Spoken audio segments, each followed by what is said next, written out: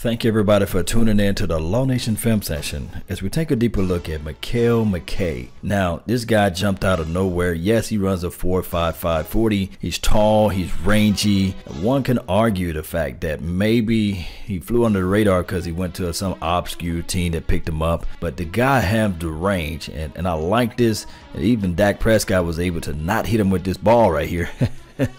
maybe that's the reason why he was not drafted, right? Or maybe this was the reason why everything went under the water with him. Let's rewind on his play and look at him. He just don't have those hands that everybody wanted to see coming out of 2016. So, but this is what happened. You know, this play right here got my eyes on him, and I wanted to know who was the guy with the snag. How tall is he? What was his range? What was his story?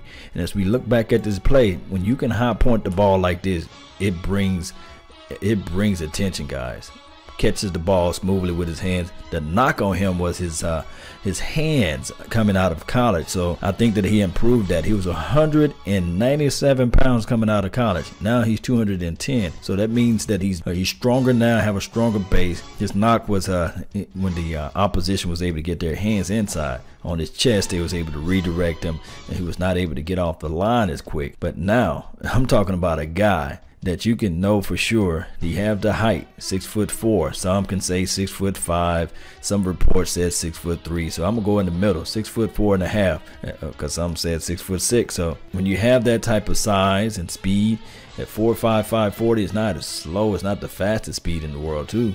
But when you have that that ability to pluck the ball out of the sky guys that's what i like. And then his speed is so subtle and hidden now he's under the uh, coach Lyles receiver play. This is like a a wide receivers coach dream to coach up a young prospect who have that height, who have that length. Now you can put your skills to say, hey, this can be the guy that we mold and shift and make ourselves. Let's rewind this thing right here. Just to snag the ball out of there, man. you guys know I love when a player is able to do this. Give me this ball. That's everything. Hey, uh, you would need this on your team, especially when you're talking about a young quarterback, a young quarterback who needs that window. Remember, I was talking about this guy just don't have just a small window. He have a whole balcony. I mean, look at this view. you got to put your bigger corner on him. That's that will count for defensive matchup, defensive lineman, and he's shifty enough. I think his YAC is pretty underrated too as well. So when I'm looking at his skill set, I know that most of these are highlights, but scouting always say if you've seen it once before, you can see it again. And this is yards off the play. This guy's putting up uh, yards off of this run after that catch, and that's what you want to see out there on the field. Somebody who can pluck the ball out of the sky. I think he concentrate more on catching the ball with his hands than any other receiver who quote unquote supposed to have bad hands. So I think that with that being said, by him having a basketball mentality, a basketball frame, he used to play basketball. But when I'm talking about this guy right here, six foot three, six foot four, six foot five, whatever his height is, when he runs out the catch, he's showing that everybody that I'm trying to get more yards and I'm trying to pluck the ball out of the sky with my hands. And he will have that short area quickness too as well. And he just runs vicious. I like what he brings, and the scouting report says that he can block down the field too as well, a willing blocker. So that speaks what his mentality is about. I really want to see this guy grow and see. Look at that catch right here. Let's rewind. Look at this catch, man. That was a good catch over the top, over the shoulder, and that's what I like to see.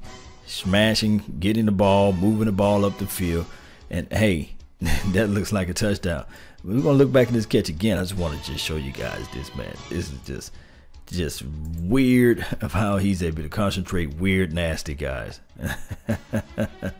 That's what i like to see guys. I want to know your thoughts. I want to know your opinions of this whole uh Mekale McKay. Did you have him as your dark horse? Is he your pet cat?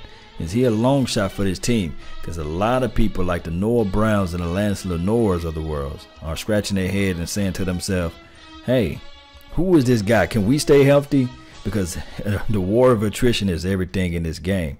And if you can stay healthy, if you can stay in shape, if you can keep your mind together like this, man, There's a world of opportunities out there for you to make this team. Let me know of your opinions, of your thoughts. Put them down in the comment sections down below. And uh, don't forget to like this page, subscribe to this page for more content. Uh, tell somebody uh, about this page, share this information. And as you know, you got a guy, your brother from another mother. No other. I don't look like Danny Glover, but I keep it cool for you guys. That's all the time I have for today. I really thank you for yours. And remember, you're listening to nothing but the best. Salute. I'm out. Peace.